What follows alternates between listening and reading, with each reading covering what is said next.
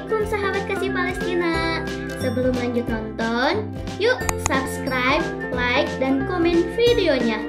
Jangan skip iklannya juga ya Karena iklan yang kalian tonton sama dengan donasi untuk Palestina.